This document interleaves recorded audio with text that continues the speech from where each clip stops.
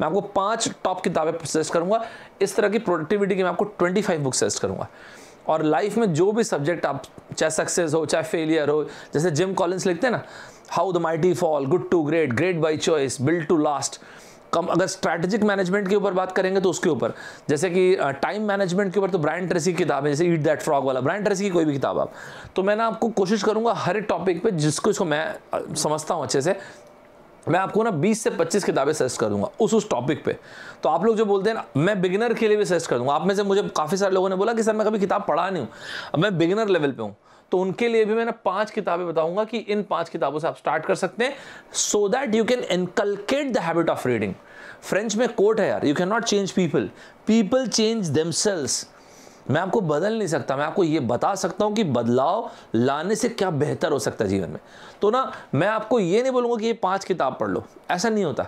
मैं आपको ये बताऊँगा, इस पाँच किताब को आप पढ़ेंगे तो आप में हैबिट आ जाएगी। ठीक बात है ना? If you want to feed a man for a day give him a fish if you want to feed a man for a lifetime, teach him how to fish. So i'll teach you how to fish. That's more important.